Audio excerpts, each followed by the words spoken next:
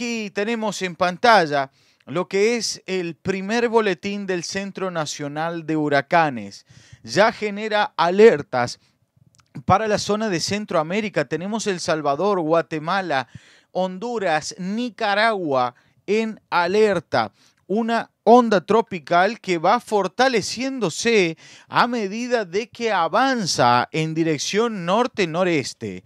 Está causando una serie de preocupaciones en todo el territorio centroamericano. Aquí vamos a ver qué es lo que nos dicen.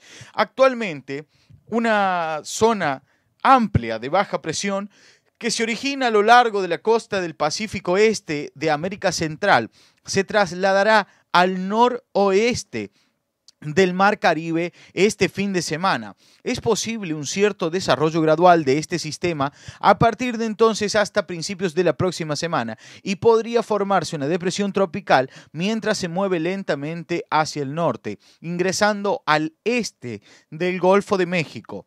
Aquí vemos que nos da una probabilidad de formación del 10%, pero atención, porque se encuentra en el 50% para la próxima semana. Y aquí nosotros vamos a ver cómo se encuentra actualmente esta situación. Tenemos aquí en pantalla, miren, el sistema que se encuentra, es una amplia zona de lluvias y que, atención, ya está rotando. Se puede observar en las animaciones de viento que ya está rotando frente a las costas del Salvador con algunas bandas nubosas hacia Nicaragua y hacia la zona de Guatemala. Lo que nosotros podemos observar es que esta onda tropical comienza a moverse y pasará en las próximas horas a la zona de el Mar Caribe, al oeste del Mar Caribe, frente a la zona de la península de Yucatán. ¿Qué es esto? ¿Qué es lo que puede suceder con esto? Siempre nos preguntan, pero Tropical, aquí no está lloviendo, ¿qué es lo que sucederá con todo esto? Vamos a ser francos y vamos a traerles la verdad a todos ustedes para que logren entender de lo que estamos hablando. Esta onda tropical que estamos viendo aquí, que se encuentra actualmente frente a las costas de Nicaragua y El Salvador, tiene muy pocas tormentas eléctricas. Miren, la zona amplia se encuentra en la zona ya del Salvador, esta zona de lluvias y tormentas, que dejará tormentas eléctricas muy leves. Pero lo que tenemos que ver aquí, que es lo que realmente nos preocupa, es la presión atmosférica, la presión del aire.